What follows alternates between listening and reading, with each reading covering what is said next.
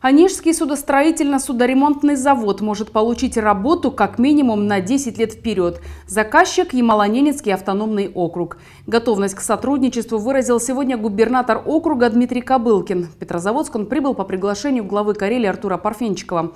Что обсуждали руководители двух регионов на одной из старейших судоверфей России, расскажет Светлана Воробьева. Губернатор Ямала, его заместители и ключевые министры таким представительным составом в Петрозаводск прибыли на день. Выбирать и присматриваться.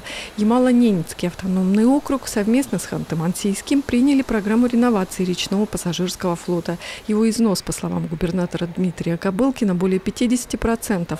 Обновлять планируют новыми моделями судов отечественного производства. Сейчас изучают предложение, у кого размещать заказы, как минимум на 10 лет вперед. Э, реновация флота, э, этим никто не занимался. Это же не, не просто пассажирские перевозки, это и баржи в том числе. А верфей не так много, живых верфей. И вот там сейчас, на которой мы находимся, она из самых таких э, ну, современных, продвинутых, имеет очень хорошее оборудование.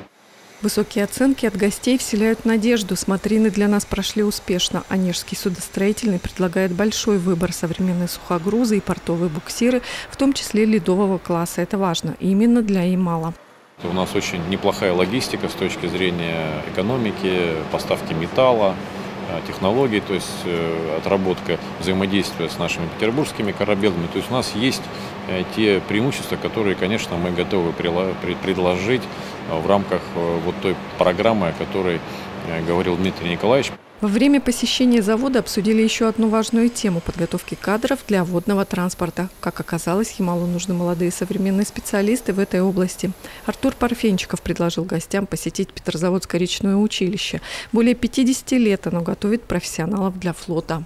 Гостям показали класс тренажеров, в нем отрабатывают навыки маневрирования и навигации, а также кабинет по обучению работе с радиостанциями. Генеральный директор Северречь флота Сергей Шептон заявил, уже на эти выпускные он пришлет так называемых покупателей, чтобы отобрать лучших специалистов для своего флота.